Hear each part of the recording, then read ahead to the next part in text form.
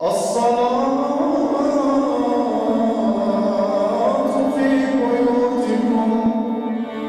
بقى أتصور معاه الوقت ما صليش تراويح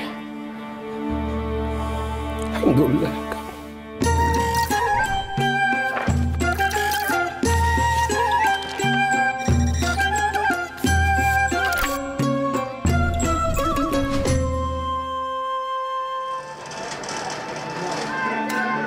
Muslims all over the world have been experiencing a Ramadan like no other. The holy month in which Muslims fast from sunrise to sunset is a time for physical and spiritual discipline, self reflection, and giving back to the community. And while fasting is a key part of Ramadan, most worshippers look forward to the communal element of the month, marked by social gatherings, charity, and congregational prayers. The coronavirus pandemic gripping the world in 2020, however, meant Muslims had to give up on the many rituals and traditions key to this time of year, as lockdowns and social distancing measures were enforced by governments across the world to slow the spread of the virus and protect their citizens. Islam's three holiest sites in Mecca, Medina, and Jerusalem, as well as mosques everywhere, had to close their doors to worshippers, suspending all congregational prayers, including Taraweeh, the special Ramadan nightly prayers which bring large numbers of Muslims together. انا عندي قريب 40 سنه صلي في التراويح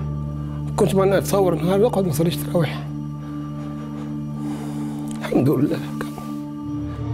Ramadan tents and communal iftars, which often see large numbers of people come together to break their fast and offer food for the less fortunate, were banned, and the Ramadan cannons announcing the end of each fast could only be heard on TV. The bustling bazaars across much of the Arab and Muslim world turned into ghost towns amid nationwide curfews, and hakawatis, storytellers who traditionally tell folk tales throughout the month, had to also stay at home.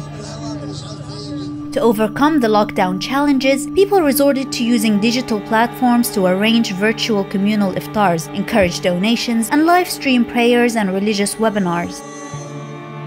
And to keep the spirit of giving alive, charities organized food deliveries in place of iftar gatherings. الناس وقفت عن أسوارها العالم صارت بحاجة بنشتغل وبنطبخ وبنساعد هذه العائلات